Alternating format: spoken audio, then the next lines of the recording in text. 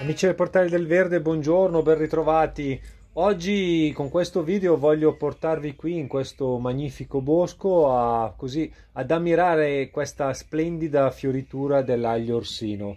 L'aglio orsino è una pianta, in questo caso è una, una, pianta erbacea bulbosa spontanea che cresce in queste zone, eh, qui siamo vicini al lago di Varese, perciò zone umide e eh, la pianta predilige assolutamente eh, le zone eh, ombrose. Poca luce, la luce del mattino, la luce del tardo pomeriggio fanno sì che questa pianta eh, possa svilupparsi al meglio. Una pianta che noi possiamo mettere nel, nel nostro giardino magari coltivandola prima in vaso, eh, quindi si fa eh, crescere eh, queste piantine nei vasi, poi si, si, cambiano i vasi dando sempre più spazio alla pianta, perciò si aumenta la dimensione del vaso fino a poterla mettere in terra. Lì eh, noi potremo eh, andare a propagare la pianta così all'infinito eh, tramite la divisione del cespo, perciò è abbastanza semplice fare questa propagazione. l'aglio orsino che ha queste bellissime foglie di questo verde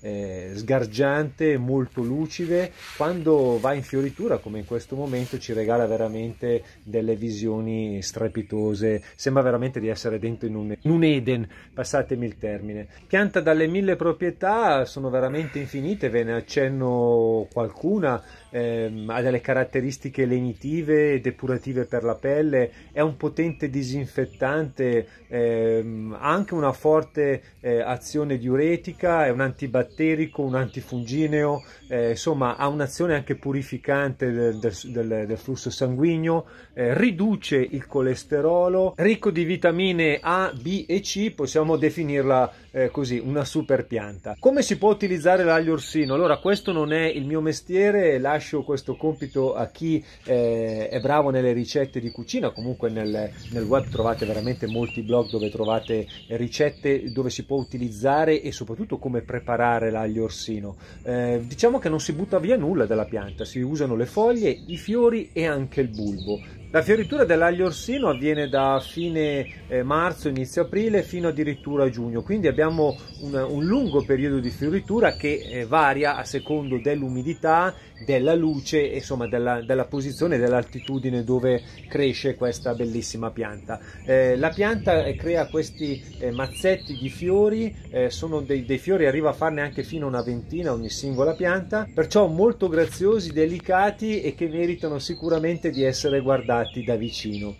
Se la domanda che vi state ponendo è la seguente, ovvero l'aglio orsino ha lo stesso problemino, tra virgolette, che ha l'aglio, ovvero che non regala un alito, eh, diciamo così, eh, molto simpatico. Ecco, mm, possiamo fare questo paragone che ehm, come l'erba eh, cipollina sta alla cipolla, ecco che l'aglio orsino sta all'aglio. Questo un po' per semplificare le cose. Sicuramente ha un gusto eh, più delicato e eh, crea sicuramente problemi minori all'alito.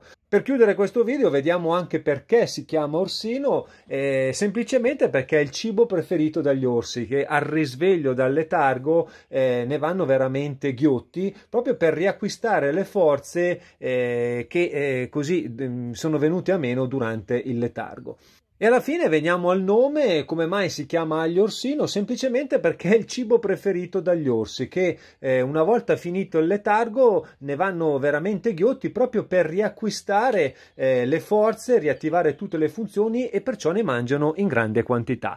Io come sempre spero di esservi stato utile eh, con questo video, vi invito a mettere un bel pollice all'insù, spolliciate, ma soprattutto iscrivetevi al canale. Ciao alla prossima!